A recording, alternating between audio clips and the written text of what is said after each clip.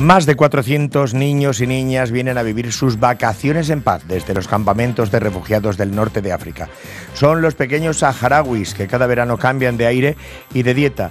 La provincia de Ciudad Real, con su Diputación Provincial a la cabeza, es la que más ayuda a que estas personitas tengan un reconocimiento médico, una buena alimentación y unas condiciones de vida que desconocen entre las jaimas del destierro y el olvido. Eso sí, hacen falta familias acogedoras. Todavía no están todos ocupados.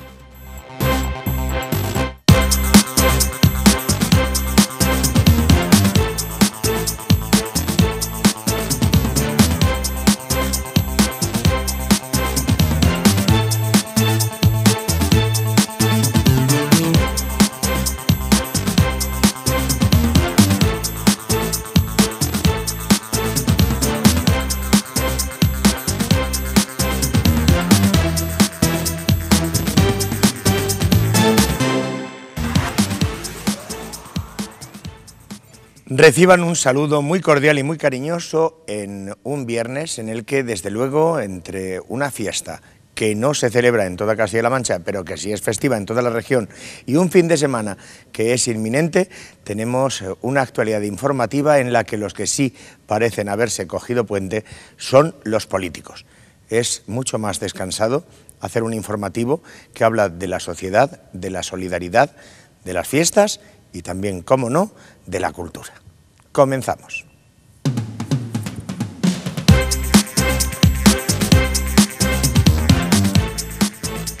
El programa Vacaciones en Paz necesita familias acogedoras que reciban a los niños saharauis en su verano feliz, lejos de los campamentos y de la miseria. Los niños y niñas de Malagón van a tener la oportunidad de disfrutar un campus multideportivo en las flamantes instalaciones municipales. El aeropuerto de Ciudad Real podría tener un comprador, así se evitaría la salida a subasta pública de las instalaciones por 40 millones de euros. El gran pintor de cabezarados Abdón Anguita vuelve a exponer en Puerto Llano 10 años después. La muestra en el Museo Municipal hasta finales de mes.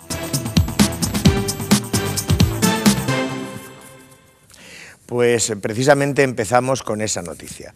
Los niños saharauis vienen de sus campamentos, del odio, del exilio, del destierro, a pasar unas vacaciones en paz. Cada vez son menos las familias acogedoras. Los últimos años hemos descubierto que faltan algunas.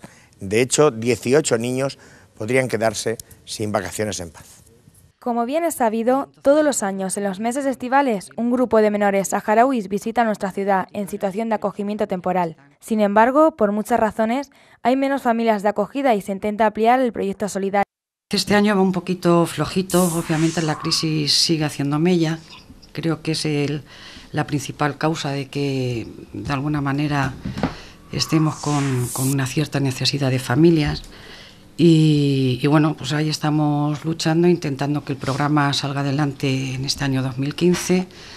Y ante todo, y antes de que personalmente se me olvide, dar las gracias como siempre a, a Nemesio de Lara y a la Diputación. Así pasan sus vacaciones de verano en el seno de una familia de acogida. Así se consigue poder ofrecerles una asistencia sanitaria, que en los campamentos de refugiados saharauis no tienen la posibilidad de recibirlas, practicándoles un chequeo médico lo más completo posible durante los dos meses de estancia. Durante la acogida se les proporciona una alimentación variada y rica en vitaminas para aliviar el alto grado de anemias detectadas en estos menores, logrando así su recuperación antes de volver con su familia biológica. Todavía se está a tiempo de conseguir familias acogedoras para todos.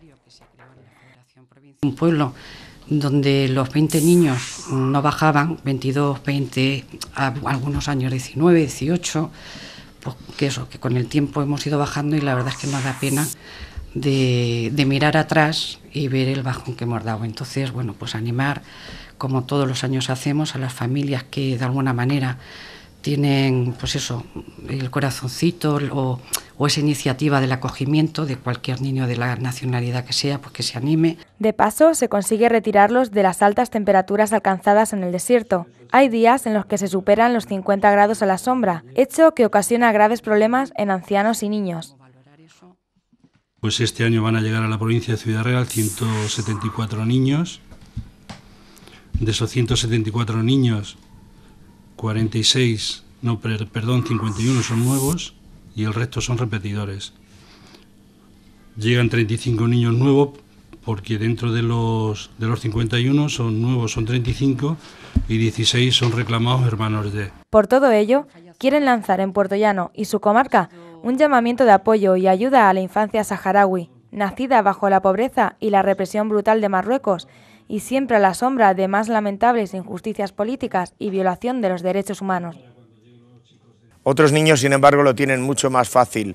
Ayuntamientos como el de Malagón ponen a su disposición campus multideportivos en los que además de practicar un montón de deporte, también aprenden inglés y aprenden sobre todo a convivir los unos con los otros. Qué mejor que practicar diferentes actividades deportivas una vez se terminan las clases, nos explicaba el coordinador de deportes en Malagón, José Antonio Martín, aprovechando la visita a las instalaciones donde se desarrollará este decimosegundo campus de fútbol una iniciativa que se realiza la última semana de junio y que este año ha superado las expectativas de participación. Dejamos la convocatoria y la verdad es que este año nos ha sorprendido porque en escasamente una semana tenemos ya casi el 80% de la convocatoria cubierta. ha sido muy rápido, tenemos ya 80 niños inscritos. Convocamos 100 plazas permitiendo que luego a última hora hay mucha gente que no llega, pues que si las notas, que si por problemas de que el niño están de vacaciones o de otros pueblos, que también vienen de bastantes pueblos, pues poder dar cabida pues, a la mayoría de la gente que quiera y esté interesada en participar. ¿Y entre qué edades están inscritos? ¿Pueden apuntarse también niñas? No sé si se animan con el fútbol. A ver, está, está abierto para niñas, para niños, todos en edades comprendidas entre los 6 años y los 14.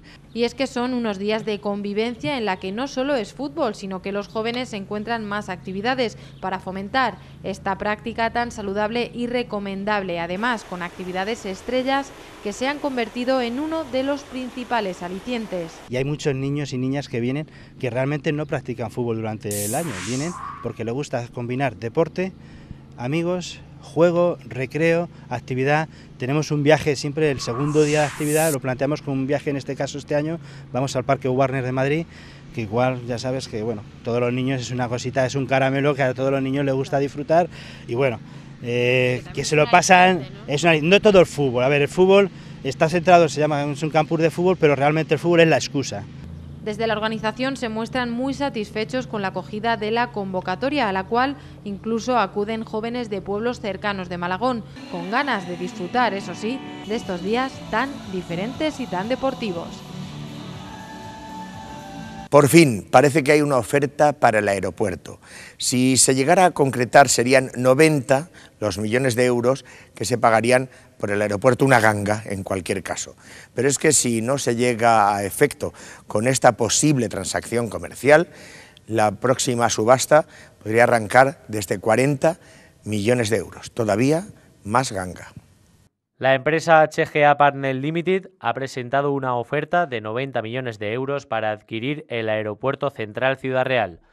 Además, en la oferta que presentó la pasada semana, avala el 5% del montante para dar credibilidad a los hechos, circunstancia que también se exigía en la licitación. Ahora los administradores concursales son los que tienen que dar validez a la oferta de 90 millones de euros, 10 más del mínimo exigible. De ser así, se paralizaría el inicio de la subasta pública que el juzgado dirigiría a partir del 19 de junio, con un precio de tasación de 40 millones.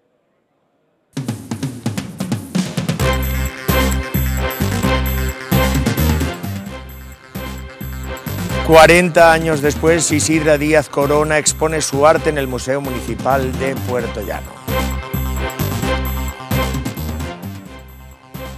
Nani Remesal nos trae el backstage del Santo Voto de Puerto Llano en medio del gran despliegue del grupo y más media.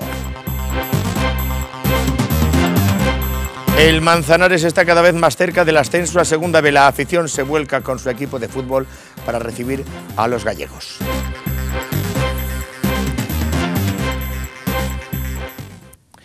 Empieza un volumen de mucha cultura en nuestro informativo de IMAS Televisión. Y es que Abdón Anguita, el gran pintor de cabezarados, vuelve a Puerto Llano, su segunda localidad, su segunda ciudad de acogida.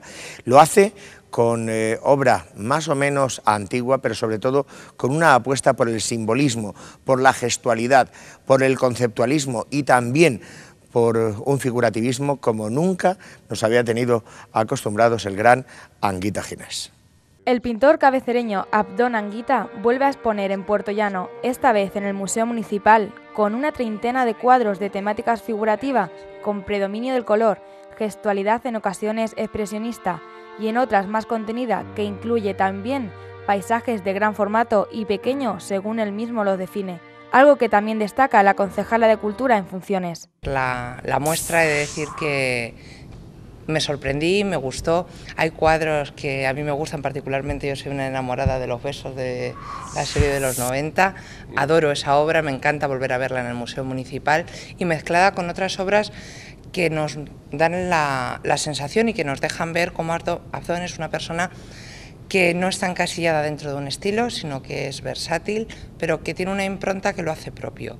Y eso es el fruto del trabajo, de la creatividad y de una, una marca. Entre las obras expuestas se hallarán varios cuadros sin fechar de etapas anteriores y todos los demás de la actualidad, en la que sus pinceles recrean paisajes bucólicos como el del Valle de Alcudia o versionan su serie El Beso, basada en la conocida escultura íbera. Entonces, eh, simplemente es pues, la evolución de una, forma de hacer que en estos momentos es bastante más gestual y en otros es también gestual, como la barra del beso, la serie del beso. Lo que pasa es que la serie del beso Mm, la dejé eh, precisamente en los años 90 y la he retomado ahora precisamente porque la dejé en, unos momentos en los que no, no encontraba sentido a, a, seguir con, hasta que ha sido en este momento cuando lo, he conseguido, ¿sabes? Desde el año 1985 ha sido galardonado hasta en ocho ocasiones con alguno de los premios del Salón de Arte Ciudad de Puerto Llano, aunque también está en la lista de ganadores de otros certámenes de gran nivel, como el concurso regional de vanguardias artísticas convocado por la Junta de Comunidades en 1995 o el llamado Taller de Arte Actual con Chema Cobo del Círculo de Bellas Artes en Madrid en el año 1991. Pues en general pues hay bastante gestualidad en, en general bastante gestualidad, salvo en algún en algún cuadro concreto mmm, hay más figuración y una temática pues mucho más simbólica o más simbolista como el cuadro de El último superviviente, más simbólico. En realidad el simbolismo es algo que me interesa mucho. También ha ganado concursos en otras muchas localidades como Jaén, Zamora, Miguel Turra, Alcázar de San Juan, Daimiel y Almodóvar del Campo.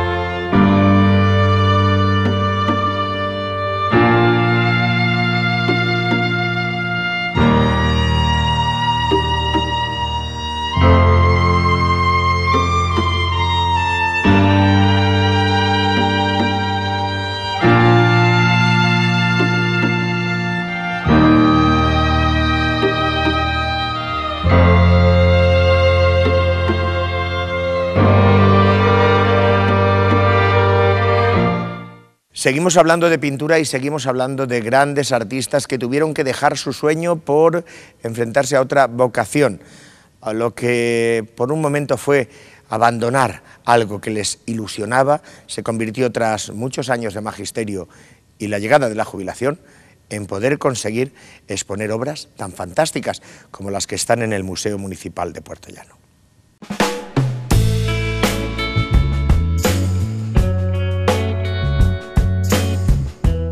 Esta maestra jubilada y residente en la actualidad en Puerto Llano nació enganchada al lápiz y los colores, que en todas sus manifestaciones han sido y son su razón de ser en las distintas etapas de su vida.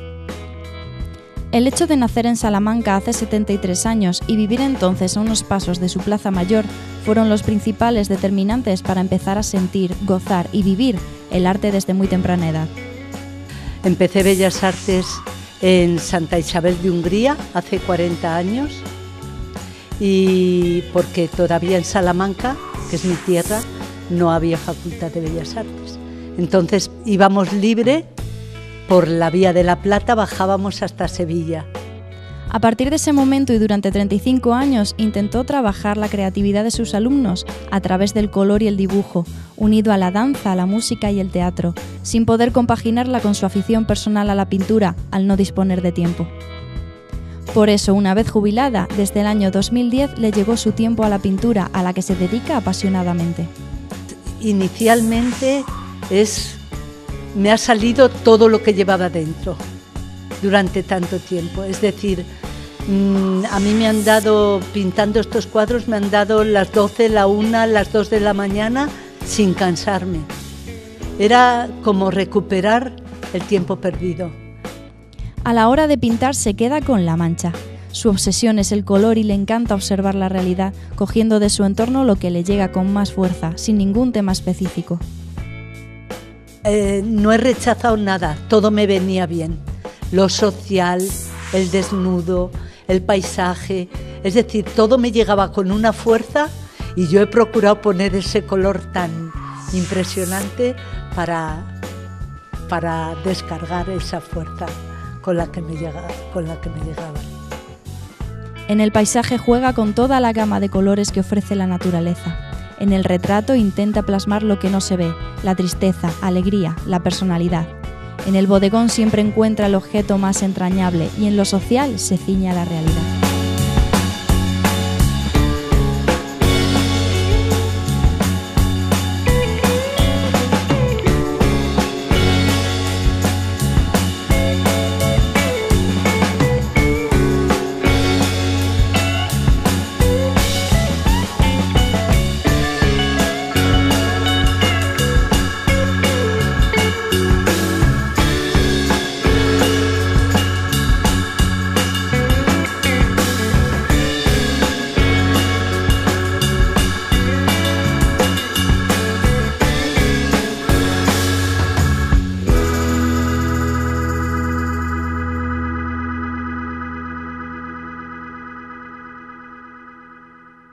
Seguimos viendo el arte. El arte esta vez de los alumnos, de los que están empezando, de los eh, chicos y chicas que se forman en la Escuela de Arte Pedro Almodóvar de la capital provincial. Desde luego hay mucho talento y hay mucho futuro. 30 días, 30 fotos, un reto fotográfico en cultura audiovisual. Es la primera de las muestras realizada por alumnos de la Escuela Pedro Almodóvar, que recoge una amplia exposición muy colorida de instantáneas muy diferentes y sugerentes entre sí. Con una óptica más artesanal, la sala de exposiciones también recoge una muestra de trabajos muy llamativos y originales realizados a mano por los alumnos.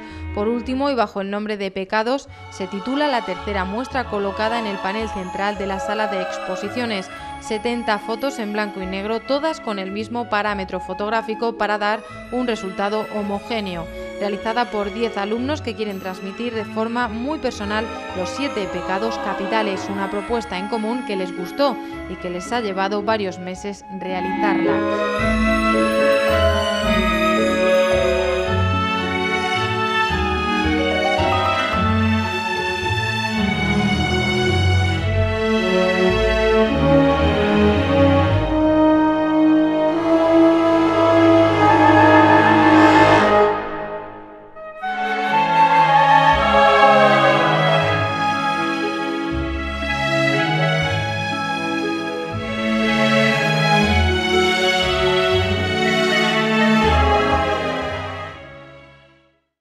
Dejamos este panorama cultural que trata de enriquecernos para el fin de semana. Si les parece bien, ahora llegan nuestras chicas con una agenda cultural para todos los públicos. Les advertimos que este fin de semana nuestra agenda cultural va a estar cargada de frases directas y explícitas, porque tendremos el placer de poder disfrutar en directo de la presentación de Comunicando, de la mano de Non Gratos, un grupo con pinceladas de rock, metal y rap y con una temática en sus letras que no dejarán a nadie indiferente.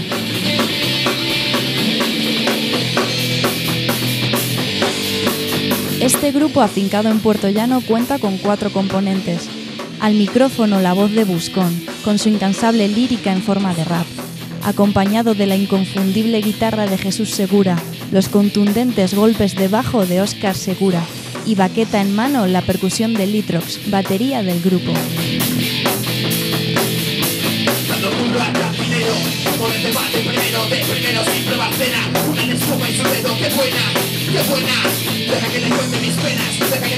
Además no vienen solos, esta noche también podrán disfrutar de la presentación del nuevo trabajo de Bunker, titulado Tiempos Duros.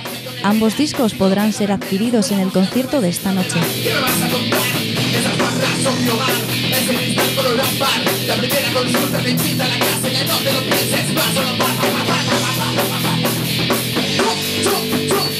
Así que ya saben, no se pueden perder este gran directo que hará que empiecen la noche de este viernes 5 de junio de la mejor manera.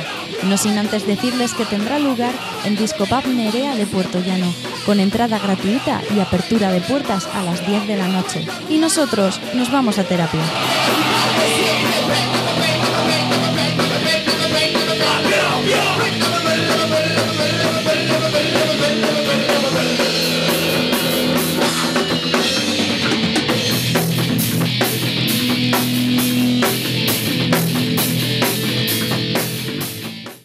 Nuestro reportaje, a continuación, en nuestro info.doc, nos ocupa ahora de santo voto en Puerto Llano, pero visto tal y como lo vimos los eh, profesionales, los compañeros, los grandes equipos de IMAS Televisión, del Grupo IMAS Media y de Onda Cero Puerto Llano, en la festividad de la comida votiva más antigua de Europa.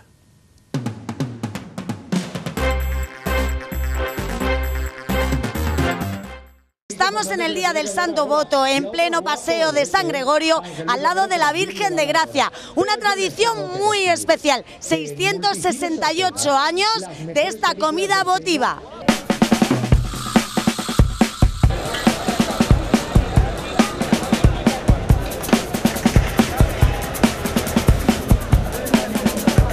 Les acercamos a una tradición centenaria, más viva que nunca.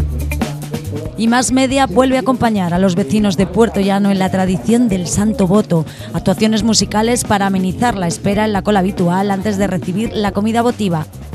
Programa en directo de Onda Cero Puerto Llano y periodistas de IMAS Televisión desplegados para ofrecerles el mejor reportaje de esta festividad.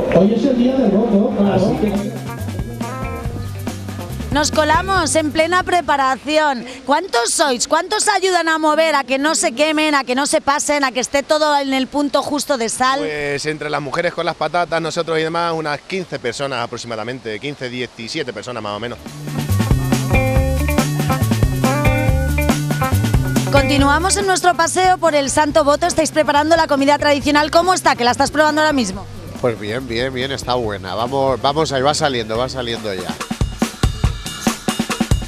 En medio del bullicio del Día del Santo Voto nos encontramos con uno de los protagonistas. Es el cocinero de esta carne tradicional votiva. Bueno, ya lleva varios años la restauración, el catering del comendador, eh, preparando y eh, repartiendo la tradicional comida del Santo Voto en el día de hoy. Estamos, sí, colaboramos con el ayuntamiento porque al final no somos sino meros colaboradores, hay un grupo muy grande, ahí está la brigada municipal, están los electricistas municipales, protección civil, policía municipal, es que hay muchísima gente. Estamos colaborando con, con, con un granito de arena. Yo soy una que vengo por promesa todos los años.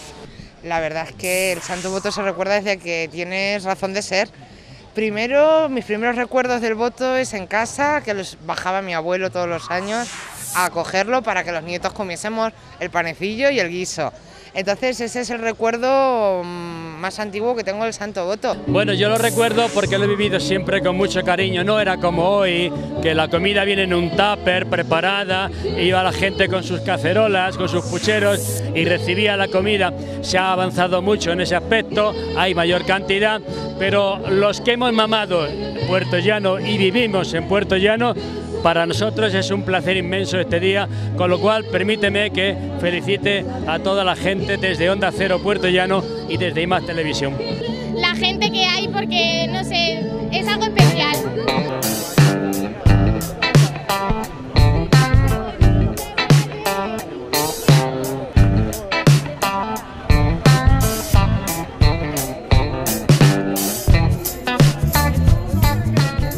Asociaciones folclóricas también ayudan, en este caso la Asociación Folclórica de Puerto Llano. Muy buenos días, ¿cómo te llamas? Susana. Susana, eh, ya veo que os acercáis y vais a ayudar en el reparto y en el envasado, ¿verdad? Sí, eso es exactamente, a echar una manita y lo que haga falta con, en este día tan especial que es tradicional en nuestro pueblo. Onda Cero Puerto Llano realizó el programa Puerto Llano en la Onda en directo. Ya lo hablábamos, momentos muy especiales en la ciudad de Puerto Llano, también para IMAS Televisión y Onda Cero Puerto Llano. Nos encontramos con su consejero delegado y director, Julián Camacho. Muy buenos días. Pues buenos días, un placer inmenso porque esta fecha, el día de la festividad del voto, para los puertollanenses es un día muy, muy, creo que muy especial. Bueno, ¿qué significa tener en directo Onda Cero Puerto Llano, con artistas en directo y más televisión como siempre presente aquí en la ciudad? Sí, la verdad es que es un grato placer. Ten en cuenta, Nani, que hoy hemos retransmitido incluso la, misa del Santo Voto, la hemos emitido en directo por Onda Cero. Y bueno, que la gente vea cómo hacemos la radio. Tenemos artistas, en este momento está actuando Maika y luego vendrán otros artistas siempre de Puerto Llano, buenos e importantes. Y para nosotros un placer y un orgullo de que seamos la radio de Puerto Llano, Onda Cero. Los vecinos, artistas y colaboradores, todos tuvieron un minuto para IMAS Televisión. Pues jugar en casa y estar aquí en casa, pues un placer, como siempre, claro que sí. Además vosotros por los medios que siempre estáis al pie del cañón y siempre estáis apoyando, pues encantadísimo. Ya lo digo, mi Puerto Llano, faro industrial de la Mancha, que es lo que le hace falta, ser y seguir siendo industrial. Pues la verdad que es un orgullo muy grande cantar este día que tiene mucha historia para Puerto Llano el voto, muy acogedor y, y buena gente y muy, muy querido. La verdad que me sentí muy querido y un día muy, muy bueno. Pues la verdad que es un placer y la gente es súper allegada, siempre tienen una buena cara para, para ti. O sea, para mí es un placer y me faltan palabras para poder expresarlo, la verdad. Pues mira, yo me vine eh, hace 40 años de Barcelona, de un pueblito de Barcelona, y desde entonces es lo que tengo en la, en la memoria, recuerdo a mi madre, el ir a por el bollito de la, que daba suerte, el bollito, el bollito bendecido, el pasear a las vacas, y para mí que es una tradición que encima yo apostaría porque fuera festivo en Puerto Llano. Yo desde que estoy aquí en Puerto Llano, que vivo desde que tengo 13 años, realmente ha sido una de las fiestas que más movilización y aceptación popular ha tenido desde siempre, ¿no?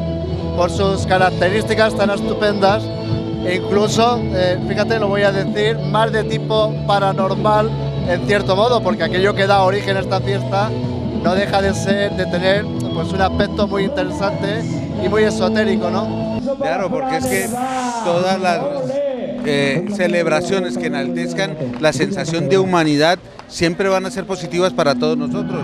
Nos recuerdan que trabajamos juntos, que estamos juntos, que colaboramos juntos, que somos un grupo y no un individuo. Aquí se representa año tras año en el voto. Yo creo que es la fiesta más importante que tenemos en Puerto Llano. Tiene interés turístico regional, pero además es una fiesta que nos identifica, que nos hace más humanos, que nos hace más hermanos en un día que tradicionalmente se celebra en Puerto Llano por todo lo alto, atendiendo a todo el mundo, juntándonos todos por una misma causa, ¿no?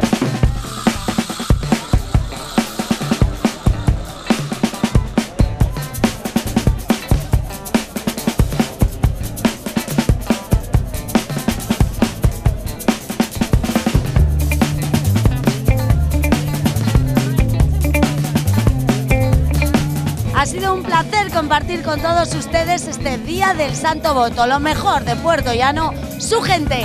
¡Viva el Santo Voto! A continuación, algunas noticias de interés, pero resumidas de forma mucho más breve.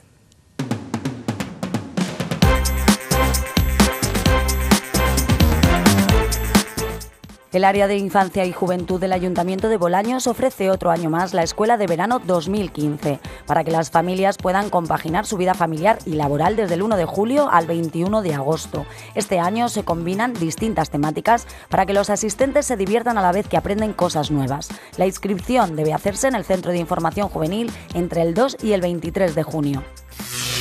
La Coral Municipal de Daimiel Molto Vivace sigue con su gira con motivo del quinto centenario del nacimiento de Santa Teresa de Jesús. Se va a trasladar a Zaragoza los días 5, 6 y 7 de junio. Actuarán el sábado 6 de junio, víspera de la festividad del Corpus Christi en la Catedral Basílica del Pilar en la Santa Misa a las 8 de la tarde y el día siguiente en la parroquia de Santa Gema de los Padres Pasionistas. El repertorio está compuesto en su mayor parte por composiciones con letra de Santa Teresa de Jesús ha sido rescatada una mujer que llevaba cuatro días caída en el baño de su casa en Argamasilla de Alba.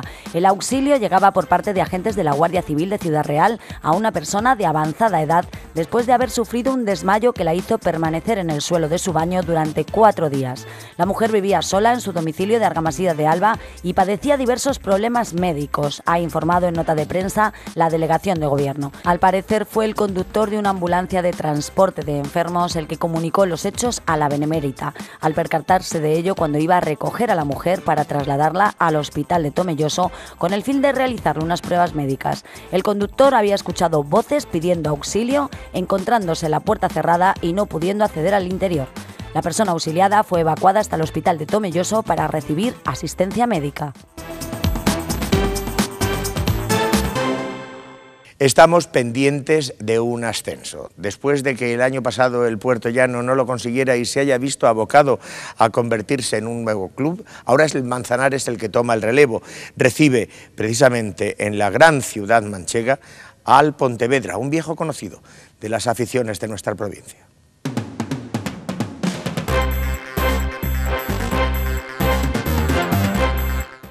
Todo preparado para que mañana a las seis y media el espectáculo eh, pues de inicio y el Manzanares y el Pontevedra mida sus fuerzas en un partido donde al conjunto de Guillermo Alcázar evidentemente va a pasar, le va a pasar factura a las ausencias, las ausencias de Pirri y de Kevin, y realmente en una plantilla tan corta pues son dos ausencias importantes. El resto de la plantilla a disposición del entrenador a las seis y media de la tarde, evento anticipadas de entradas que va a buen ritmo, se prevé entrada récord de la temporada y yo creo que entrada récord de los últimos 10 años y aprovechamos desde aquí para animar a todos los aficionados al fútbol de no solamente de Manzanares y comarca, sino de la provincia, a que este sábado no lo duden y a las seis y media acudan a José Camacho a ese partido playoff de ascenso a segunda edición B entre el Manzanares y el Pontevedra. Seguimos hablando de la actualidad del Manzanares porque toda la provincia está deseando que se consiga ese ascenso. Hemos dicho millones de veces esta temporada que con estos se puede ir a la guerra con posibilidad de ganarla sin armas. Creo que lo que hemos dicho se cumple. Con esto se puede ir a la guerra sin armas y como decía Gila, está el enemigo, por ir que se espere. Sí, así es. Y los vamos a necesitar porque el partido de vuelta en Pasarón va a ser un poco como 300, ¿no? Leónidas en la batalla de Termópilas, allí con 11.000 personas y tal, y vamos a necesitar de todo el carácter que durante el año ha demostrado estos fenómenos, porque como hemos hablado muchas veces y creo que solamente estirar algunos de los extractos que durante el año Juan siempre los he alabado, siempre los he ensalzado y porque realmente mm, son un grupo fantástico y si estamos aquí es por ellos. Los olivares de récord. He hablado con ellos antes de empezar el entrenamiento y me decían que no, hombre, que no, que, que esto no vale para nada, que no corren nada, que parece que tiene, que con nosotros con nuestros años corremos y nos vamos de juerga más que ellos todavía, es de récord. Sí, sí, no, a ver, yo sabes que también te lo he dicho, eh, hay gente muy competitiva en el equipo y yo siempre digo el espíritu de los olivares por ser, ser dos, ser gemelos y ser tener el carisma que tienen dentro de sí, tener el carisma que tienen, pero es cierto, este equipo, bueno, pues en la historia se puede quedar como la, temporada 2014-2015, aquel Manzanares con el espíritu de los Olivares, es indudable porque están dando un rendimiento fantástico. Y a ver, y bueno, yo que tengo el defectillo de que me encariño bastante con la gente y de que suelo ser amigo de ellos, de los futbolistas, pues ¿Qué quieres que te diga? Son dos tipos que hasta la guerra me los llevaría yo. Yo también me los llevaría a la guerra y a, donde fuera necesario. Mister, gracias en nombre de la afición de Manzanares, gracias en nombre de tus futbolistas, porque estáis haciendo feliz a mucha gente y creo que en esta época que nos movemos, mm. hacer feliz a la gente es importante. Gracias de verdad.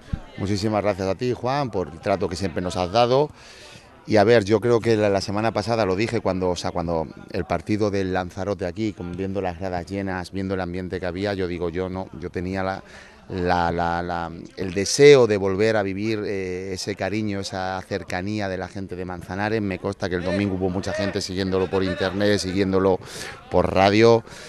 Y bueno, pues dentro de este fútbol modesto, estos partidos nos hacen sentirnos un poquito más importantes. Así es que gracias también por haberme dado la posibilidad de estar aquí. Gracias, mister. Venga, un saludo.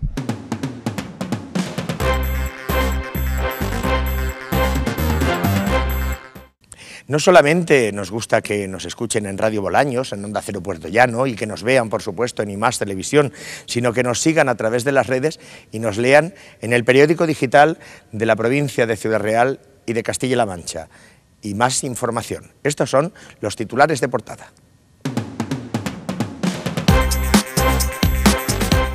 Nuestra portada la ocupa el Hospital de Parapléjicos de Toledo, que participa en un proyecto europeo para el desarrollo de neuroprótesis biocompatibles. El Hospital Nacional de Parapléjicos, centro gestionado por el Gobierno de Castilla-La Mancha, participa en el proyecto biotecnológico europeo destinado a desarrollar prótesis artificiales que ayuden a reparar nervios periféricos lesionados. El proyecto Neurim está financiado por el séptimo programa marco de la Comisión Europea con 3,5 millones de euros. Nos vamos a Puerto Llano. El arte gestual de Abdón Anguita vuelve a la ciudad minera 10 años después. Abdón Anguita vuelve a exponer en Puerto Llano 10 años después de la última vez que pudimos ver sus cuadros. El retorno está lleno de color, fuerza y simbolismo. Continuamos en la ciudad minera. Vacaciones en paz necesitan más familias acogedoras. Las asociaciones de ayuda al pueblo saharaui quiere dar a conocer el desarrollo del programa Vacaciones en Paz 2015 en nuestra provincia. Y ya en Ciudad Real, una compañía inglesa ofrece 90 millones por el aeropuerto. Una empresa británica ha presentado una oferta para comprar el aeropuerto por 90 millones de euros.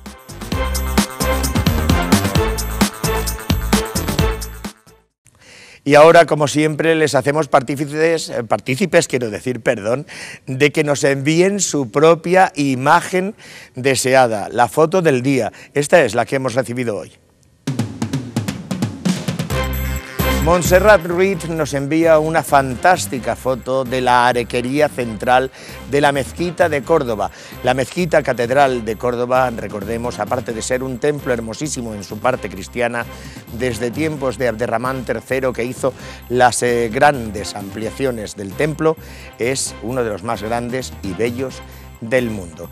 Pueden enviar otras fotos similares o de la temática que ustedes quieran a fotos@imastv.es. Habíamos dicho que íbamos a tener la política fuera, que estaba de puente por el Corpus Christi. Bueno, pues eh, vamos a hablar un poquito, pero no vamos a ser nosotros, sino la opinión de la calle, la voz de la calle. Y es que la pregunta de la semana tenía que ver precisamente con eso, con la posibilidad de pactos para llegar a acuerdos o de gobierno o puntuales para gobernar. En cualquier caso, después eh, tendrán también la información del tiempo y los deportes con nuestro compañero, el que más sabe, y que es don Julio García. De momento nosotros les dejamos, disfruten la programación de IMAS Televisión. Muchas gracias.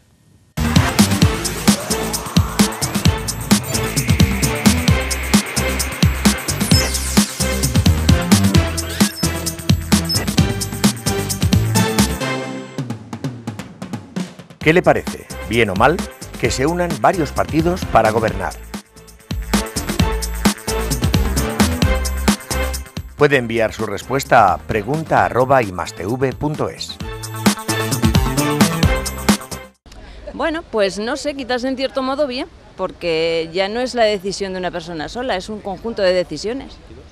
Bueno, pues bien, mi opinión es que yo estoy un poco al lado de, de política, no sé mucho, pero bueno, si lo que mejore el pueblo, que mejore, que mejore la sociedad y qué vamos a pedir, lo mejor de lo mejor.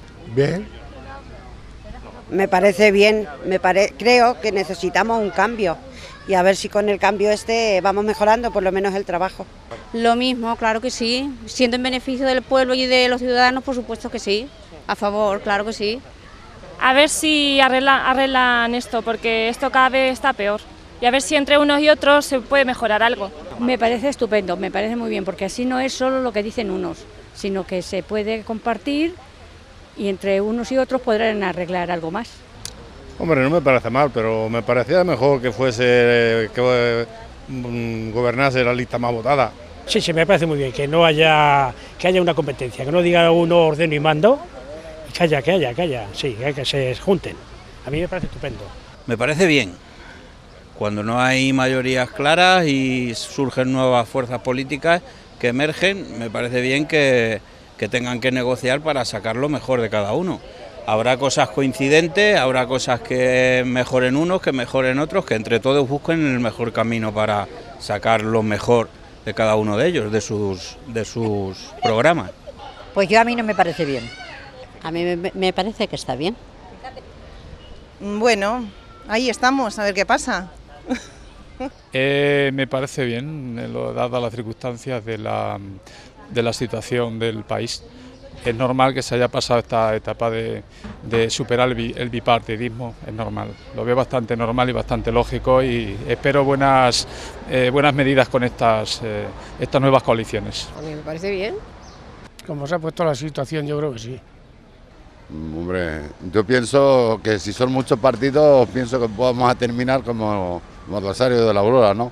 Yo pienso, pienso yo. Eh, me parece mal, tanto pastar como sin pastar nada, porque si tanto pasten como no pasten, vamos a seguir en la misma situación. Yo he votado porque si no, pienso que no es bueno, pero vamos, que eh, sé que aunque vote, mi situación, por ejemplo, yo soy estudiante, ahora mismo no estoy ni estudiando y no hay trabajo ni nada, pienso que no, sé, que no va a cambiar. Pues pienso que mal, yo qué sé, que las cosas no van muy bien, no sé. Pienso que si va a ir la cosa mejor, ¿por qué no? Pues mal, creo que deberían cambiar las leyes electorales y salir las listas más votadas. Eso de los pactos creo que es algo ya del pasado, por lo menos.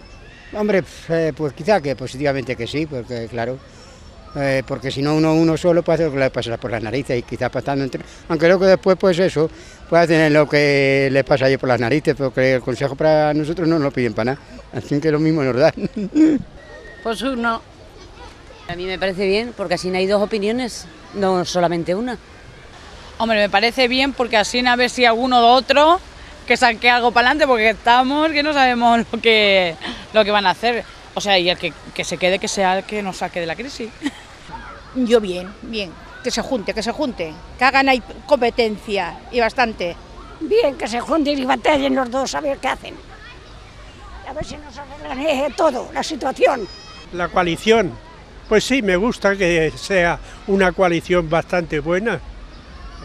Hombre, pues a mí me parece bien. Si las cosas, si las cosas las van a hacer bien, a mí yo qué sé. Bien, claro. Bien, bien. A mí me parece bien y tienen que pactar.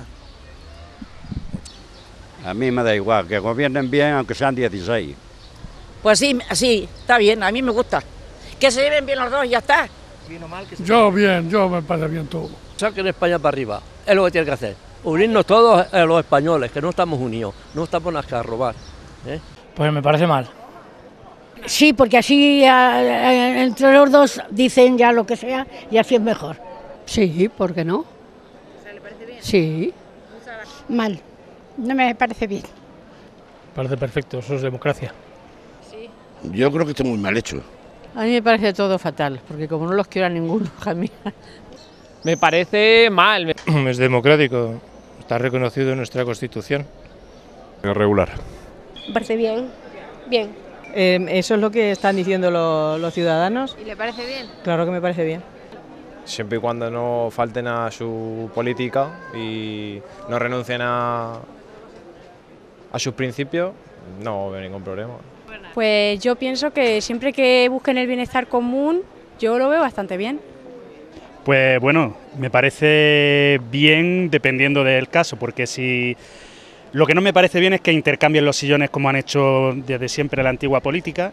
Eh, entonces, bueno, muchas veces votamos a un partido determinado y después a espaldas nuestras, en despachos y de forma un poco oscura, hacen lo que quieren con nuestro voto. Entonces, desde ese punto de vista, no. Si lo hacen de forma más transparente, sí.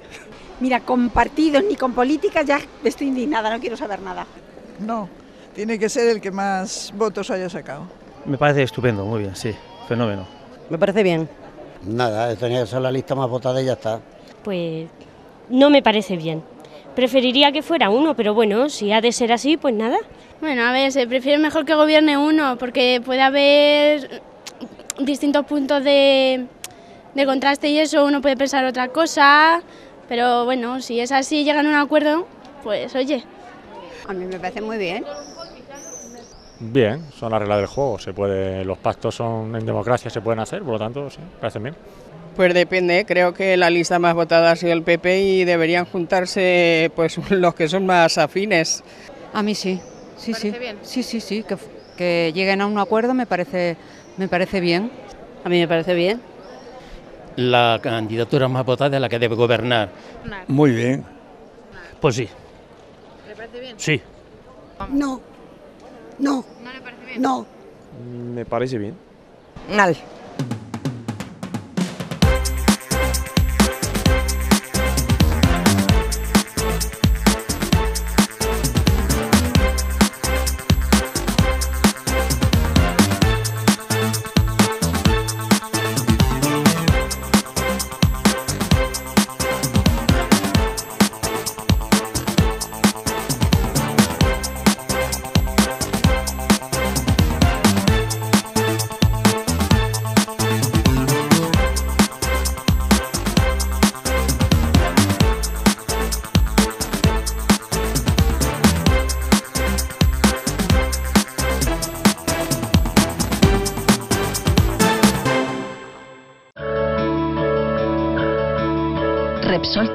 Tiempo.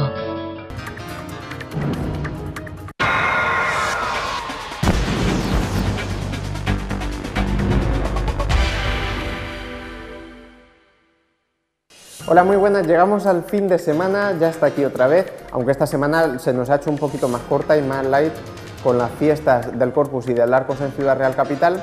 Así que vamos a ver qué tal se presenta el tiempo para este fin de semana, que en principio no va a tener demasiada complicación, aunque sí que la atmósfera va a estar un poquito más movida que estos días de atrás. El por qué lo vemos en el mapa para mañana. Tenemos una pequeña bolsa de aire frío en el suroeste de la península que se intenta acercar algo hacia nosotros, pese a que hay una especie de barrera anticiclónica, una dorsal bastante potente que está situada justo encima nuestra, procedente del norte de África.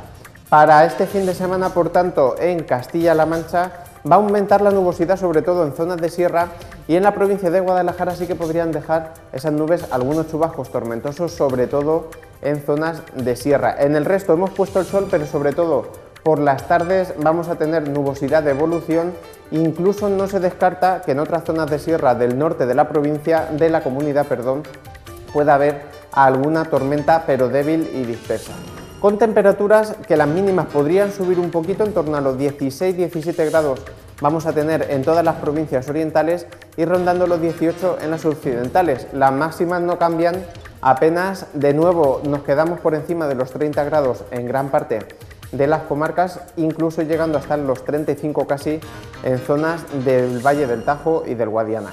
Y ahora nos vamos ya a la provincia de Ciudad Real y vamos a ver el tiempo que vamos a tener y comenzamos como siempre nuestro repaso por Ciudad Real Capital, donde va a ser un fin de semana que va a dominar el sol por la mañana sobre todo y luego por las tardes va a crecer nubosidad de evolución, también algo de nubes medias y altas, pero en principio no esperamos que vaya a haber tormentas, con temperaturas mínimas rozando los 17-18 grados y máximas entre los 33 y los 34.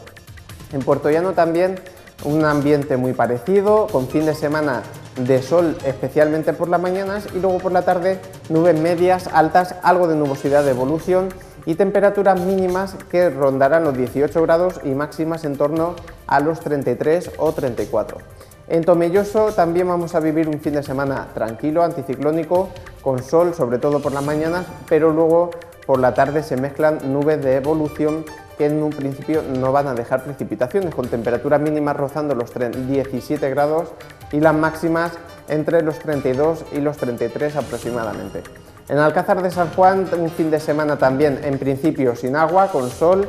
Por la tarde eh, la nubosidad de evolución aparecería pero sin consecuencias y con temperaturas mínimas en torno a los 17 grados y máximas que podrían casi casi acercarse hasta los 34.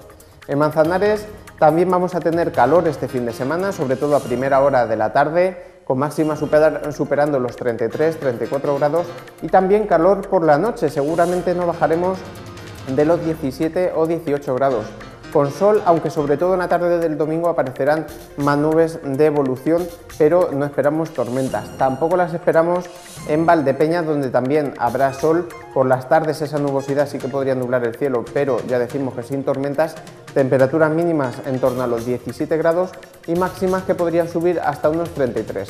Y finalmente en Almadén, en una de las comarcas más occidentales de nuestra provincia, vamos a tener también un fin de semana tranquilo, de sol, con alguna nube por la tarde que podría nublar algo el cielo, las mínimas en torno a los 18-19 grados, noches calurosas en Almadén y días también calurosos con 35 grados. En el resto de la provincia contamos con nubosidad de evolución, sobre todo en las zonas de sierra, en los montes de Toledo, también en Sierra Morena, que ya decimos va a ser difícil que dejen precipitaciones, si acaso alguna tormenta muy aislada en zonas de sierra el domingo y temperaturas que van a seguir siendo calurosas incluso para la época del año en la que nos encontramos con más de 32, 33 grados y mínimas también calurosas entre los 17 y los 19 grados. Vamos a finalizar eh, con fotografías. Primero nos las pueden enviar al tiempo arroba y esta imagen precioso atardecer que nos mandaba desde los alrededores de Almadén Manolo García. Un atardecer, ya decimos, muy bonito. Y vamos a, terminar, pero con datos sobre el mes de mayo. Ya eh, les avanzábamos en otros espacios del tiempo que en mayo se registró la temperatura más alta desde que eh, se toman registros en Ciudad Real Capital, sobrepasamos la máxima y también eh, tuvimos récord como mes de mayo más seco desde que tenemos registros en la Escuela de Magisterio. Pues bien, eh, también hemos eh, tenido dos récords más en el mayo de 2015. Primero, un récord de temperatura media. En este año la temperatura media ha sido de 21,1 grados. El anterior récord estaba en el año 2006 con 20,9 grados, así que se convierte en cuanto a temperatura media en el mes de mayo más cálido desde que tenemos registro, ya decimos, en Ciudad Real. Y el siguiente récord que hemos conseguido es la temperatura media de las máximas, que mientras que el anterior récord estaba en el año 1964 con 28,4 grados, este año se ha superado y con creces y la media de las máximas ha sido de 29,1 grados. Todos estos datos dan cuenta de lo caluroso y extremadamente seco que ha sido el mes de mayo de 2015 en Ciudad Real. Esperemos no tener que dar más datos de este tipo en los próximos meses y que podamos tener buenas noticias para todos. En cualquier caso, más información del tiempo la pueden obtener en meteocastillalamancha.com y mañana estamos aquí como siempre para contar qué tiempo va a hacer. Hasta entonces, adiós.